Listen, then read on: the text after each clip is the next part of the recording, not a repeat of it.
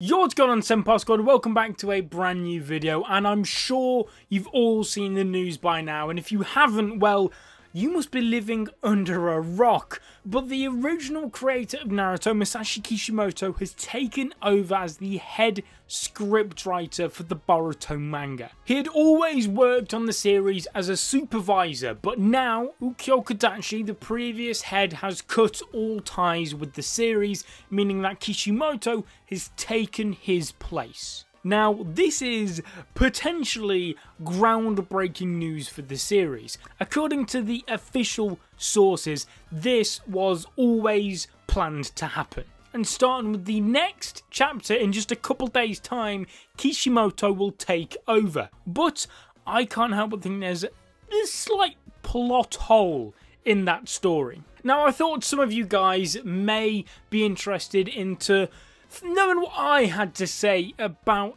this news because obviously this channel is pretty much I'd say 99% Boruto related. So when news this massive comes out, I, I almost feel obliged to give you guys my thoughts and opinions on it. This video is going to be slightly less scripted than usual as well, just, just so I make sure I get my raw emotions out. Now, as I was saying, the official sources said that this was always planned to happen since the beginning, but I can't help but think that that's not entirely true. Firstly, how could this have been the plan all along to have him take over now when if Kishimoto had his way, he'd probably still be working on Samurai 8 right now, which was always the manga he'd dreamed of making. It's only because Kishimoto's cancellation has now left him without a job, allowing him time to step in and take over. Also, you had Ikemoto say this in an interview about a year or two ago, saying that when asked about how the Boruto series and the manga even became a thing, him saying that Kishimoto had no interest or no plans in writing stories for Boruto and his friend. And yet, here we are now in good old 2020 saying that this was apparently the plan from the beginning. Yeah, I'm not so sure about that one, Chief. And as for him being the writer for the next chapter, I'm also not 100% sure on that. This one does have more room to be a little bit believable though, it all depends on when exactly Kishimoto was reinstated into his role as the main scriptwriter. If this has happened just a couple of days ago, like the day when the news broke, then there's no way that is true. literally not a chance.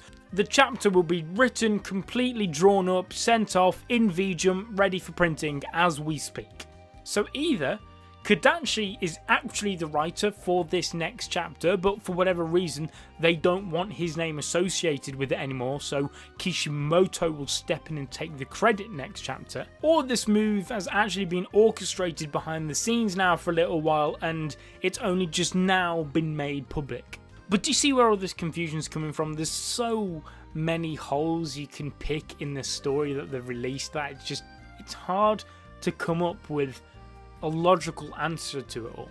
And the reason I've taken a few days to actually make this video is because I wanted to at least make sure I slept on it just to try and gather some extra thoughts I could have woken up with the next day as to maybe why they've decided to get rid of Kodachi and why Kishimoto stepped in and was it really planned from the beginning, all of that type of stuff. There's some news floating around that Kodachi was sacked because he wasn't the nicest person to his co-workers at Shueisha. I ain't sure exactly how true that is, so I'm not going to comment too much. One reason why I think maybe Kodachi was moved on is, as we all know in the manga right now, Naruto is on the brink of death. And maybe, just maybe, Shueisha thought that it'd be best to disguise this death of Naruto's under Kishimoto's doing in order to maybe sort of postpone or push back or stop any potential drop in sales from fans as maybe they think that they'll take his death easier or better knowing that it's Kishimoto, the original creator of Naruto, is the one who's actually killing him off, even though Kodachi, Kishimoto, whoever was writing it, was going to kill them off anyway. We'll have to wait and see what the chapter has for us. If we can pick up on any little differences, which may be any Kishimoto writing habits, for example, that will sort of indicate us what the truth is. But, and this may be some bad news for some of you, but unfortunately, Kishimoto is not drawing the series. He will just be the scriptwriter, and some translations have said storyboarder too. I'm fingers crossed it's storyboarder as well, but he's definitely just the writer and not the main artist, which will be the same role if he is a storyboarder, that is, as to what he had for his previous manga, Samurai 8, where he will write the plot by himself and also draw concept sketches for how the paneling and poses for the manga should be placed out, and then Ikemoto will then use these concept sketches and drafts to then create his own final version in his style. So although Kishimoto isn't directly drawing it, he will at least have some influence on how the art is portrayed. Which may also be an indication next chapter on how long he's been in his role. If he is a storyboarder, if we see some slight maybe pose changes or expression changes, placement, paneling, fingers damn crossed we get a double page spread at some point in our damn lives now that Kishimoto's here because please god damn it, I want a double page spread but if we get anything like that then yeah I think it's safe to say that Kishimoto has actually been in this role for longer than we're led to believe. Also, I just want to get this out of the way as well because I know everyone gets excited with it whenever we get any sort of production update about the manga. So I should say right now, there is no news about a weekly release schedule. Zero. Zilch. Nada. It will still be monthly until stated otherwise. One thing I do hope this means, if Kishimoto does end up being a storyboarder, like I said, I'm not 100% sure how true that news is because I've seen conflicting reports, but if he does end up being a storyboarder, I can only hope, and this is not confirmed, it's just a theory of mine, that Okubo, who helped draw the Samurai 8 manga, may join the Boruto team. I can only hope to become the main artist for the manga. Now let me explain my thinking behind this. Samurai 8 was always the the manga Kishimoto dreamed of making, and so he chose Okubo to essentially be the one in charge of portraying the art of the manga of his dreams. That's some damn high praise right there from one of the goats of the industry. To put that much trust into you to accurately portray the manga of his dreams. And because Okubo's art style is slightly similar to Kishimoto's, or at least when you compare it with Ikemoto's, it's much similar to Kishimoto's, which may mean that Okubo would have a much simpler, quicker, and easier time to copy and stick to the initial drafts and storyboards that Kishimoto will be creating, as opposed to Ikemoto, who has a vastly different art style.